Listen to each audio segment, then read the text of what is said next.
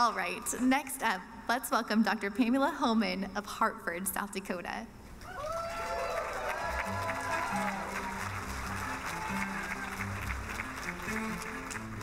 Dr. Pamela Homan has been a lifelong educator and one of the most effective and innovative administrators in K 12 public education that the state has ever known. She has exercised enormous influence on education policy at the local and state levels by focusing on students, technology integration, and strategic community partnerships. Dr. Homan's passion for children with learning and behavioral disabilities has been steadfast, beginning as a special education teacher in the classroom, which then developed into a hospital based school program for children in need of psychiatric acute care. Dr. Homan earned advanced degrees in educational administration, and she served as an elementary school principal and director of assessment, technology, and information services before becoming the first woman to serve as superintendent of the Sioux Falls School District.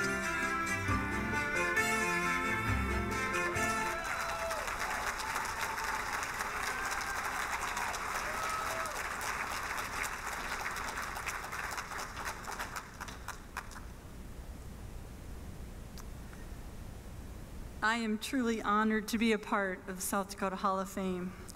And congratulations to each of the current and past inductees.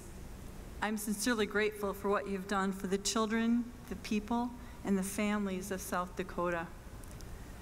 It wasn't until I was 45 years old that I fully understood my drive to give back and serve, my relentless nature to never shy away from risk, my love of innovation, and perhaps why I have often been described as one who drives 90 miles per hour in a 25 mile per hour zone now, my grandchildren sitting over there will probably be the first to tell you that this has more than a figurative meaning.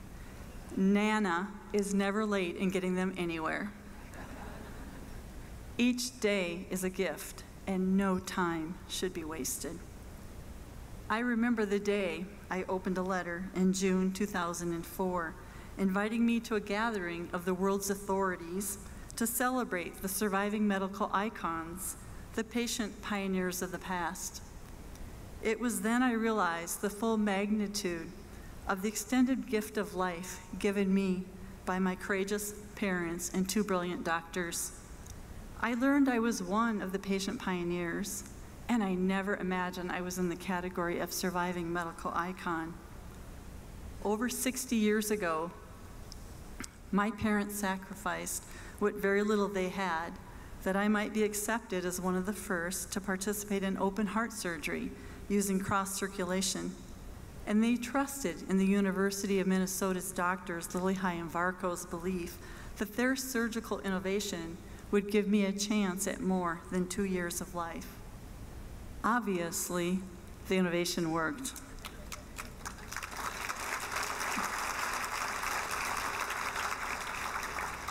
You might have wondered why on earth the baby picture I provided for the video was one of me in the hospital bed cuddling a stuffed animal. Well, now you know. For the first two years of my life, I viewed the world through the slats of a hospital crib.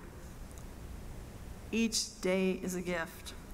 I was given a lifetime of opportunity to serve others, and no day should be wasted and my tolerance for passively viewing the world expired as a toddler. I live with a drive to make things happen, to be bold, to take risk, and to make things better for others. My parents modeled for me where there is a will, there is always a way. Neither of my parents had a high school education. Both of my parents knew what it meant to worry about from where their next meal would come. Both of my parents wanted their children to have what they did not an education.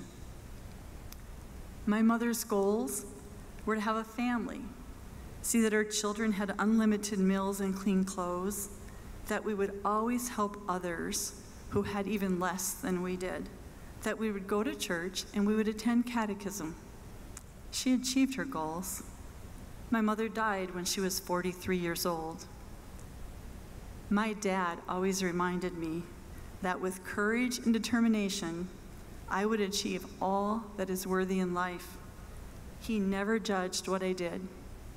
However, He taught me to be my own judge.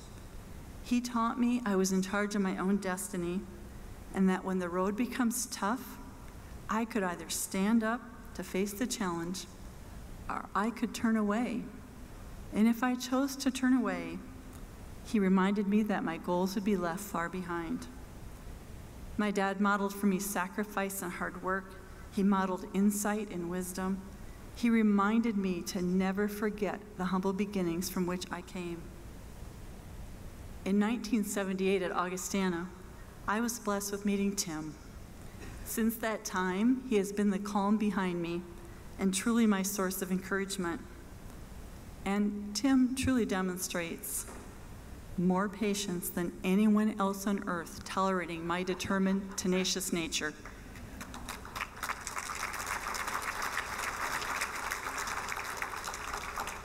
Together, we celebrate our adult children, Phoenicia, Felix, Betsy, and our son in law, Matt. We celebrate our grandchildren, Naomi, Elliot, Maya, Riker, and Elijah. Throughout my professional career, I have been surrounded by legends, legends who have guided me, lifted me, and believed with me that not every child learns in the same way, at the same time, or in the same place. I was blessed to work around the clock with extraordinary leaders in the Sioux Falls School District, in South Dakota, and I thrived on serving with national think tanks with leaders across this country. Countless children have benefited because of the hard work and dedication of hundreds of teachers in South Dakota.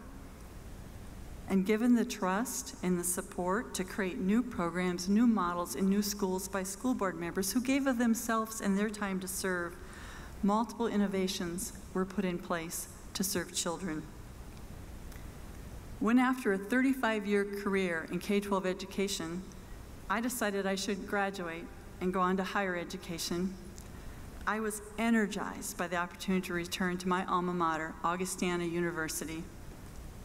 Each day, I am thankful for the determination, the compassion, and the drive of our leadership team at Augustana, as well as the leadership and the commitment of the higher education institutes across this state.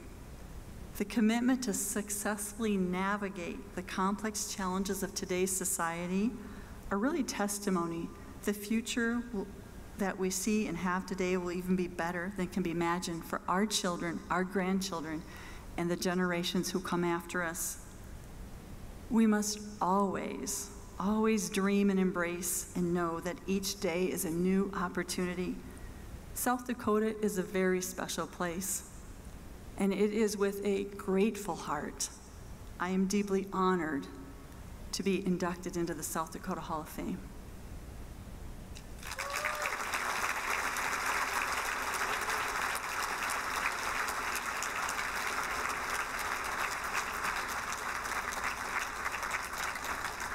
Thank you so much, Dr. Homan.